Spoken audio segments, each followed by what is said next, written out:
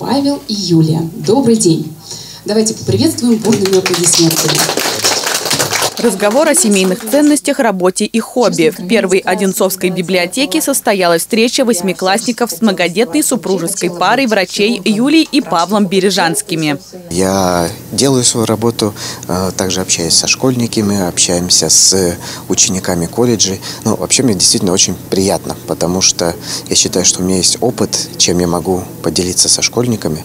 Э, у меня есть уже какие-то наработки, не знаю, может быть, я чем-то смогу их замотивировать, чтобы в дальнейшем каждый из этих не знаю, учеников, школьников стал гордостью Одинцовского района. Павел и Юлия – врачи-педиатры. Они активно участвуют в волонтерской деятельности, работают над созданием научных работ.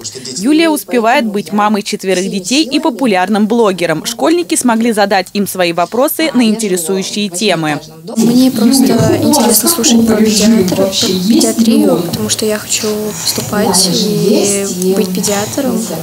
Вот. И просто, в принципе, интересно то, что они многодетная семья. 22 вопроса называется, потому что 2022 год, поэтому мы вот так символично назвали, что 22 вопроса. Надеемся, что этот э, проект у нас э, до конца года будет э, исполнен и продолжим его в 2023 году.